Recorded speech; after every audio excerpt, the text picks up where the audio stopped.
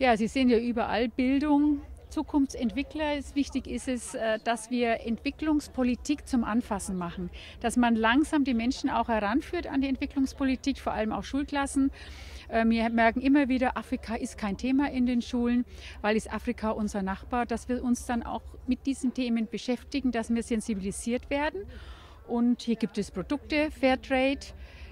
Jeder Einzelne kann hier etwas tun. Ein Stück Afrika gab es heute in Nürnberg am Lorenzer Platz.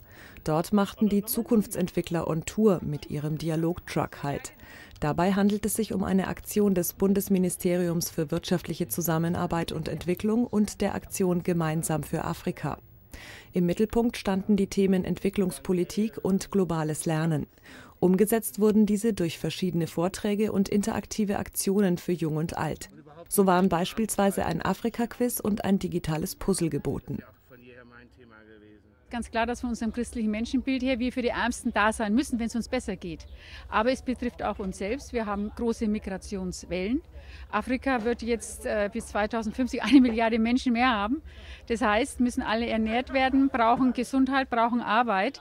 Äh, sonst haben wir riesen Migrationsströme. Und da wollen wir natürlich unterstützend mit tätig sein. Und für uns ist ganz wichtig, dass wir nicht von Entwicklungshilfe sprechen.